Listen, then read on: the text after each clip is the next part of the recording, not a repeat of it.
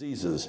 I'm going to show you some of the early evidence uh, presented for a uh, gene correction therapy using lentiviral uh, transduction uh, and use of hematopoietic stem cell infusion for correction of Fabry disease. The reason I'm using Fabry disease is because the evidence is greater. The Gaucher trial is just opening at this time, and there's only one patient so far enrolled.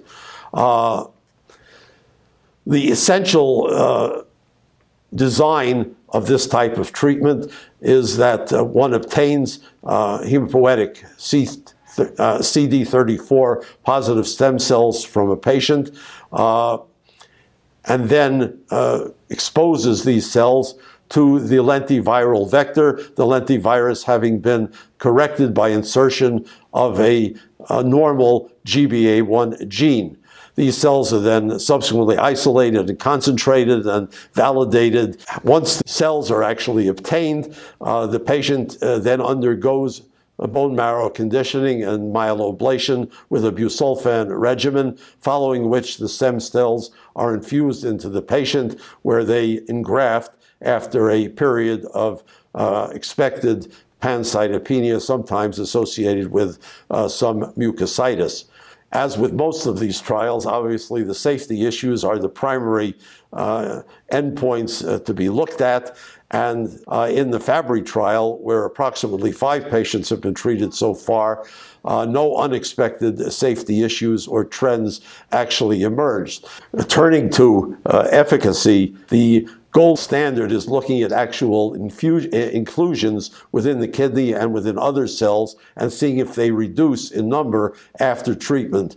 Uh, in this case, with the with the uh, therapy, the lentiviral therapy. And you can see in this slide, the, on the uh, right side of the slide, uh, is the baseline in blue for the number of kidney uh, uh, cell in, inclusion bodies noted prior to the uh, initiation of treatment, and in the red, the marked reduction that took place in this patient with kidney biopsy after being on the trial uh, for approximately a year.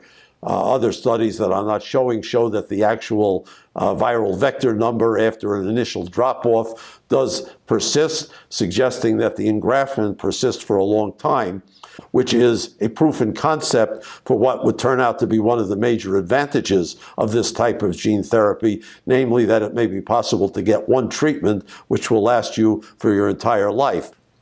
I'd like to conclude with a different type of uh, gene correction therapy, which is also being used in other disease models, particularly and prominently for treatment of hemophilia. And this is using as a viral vector for carrying the corrected gene, the adeno-associated virus 9.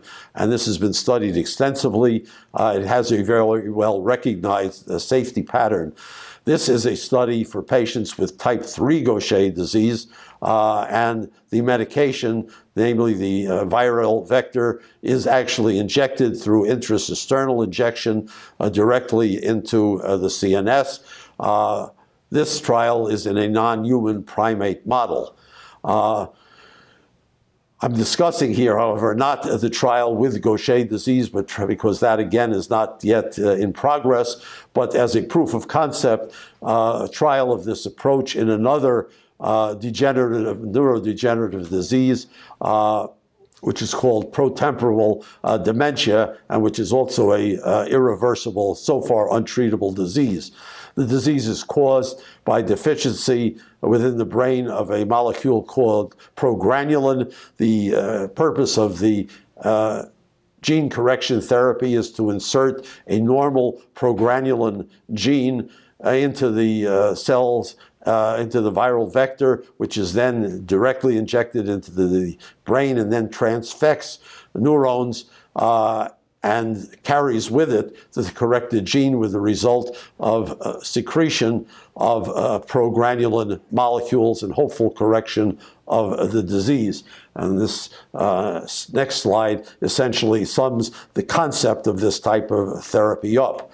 Uh, in terms of the actual efficacy in this uh, non-human primate model, uh, the bar graphs show that it is possible to document uh, persistent uh, levels of the viral vector and the viral vector copies within the central nervous system tissue, uh, which are is actually dose dependent. The larger the dose of the corrected virus that one administers, the higher the dose that's actually delivered to the CNS tissue.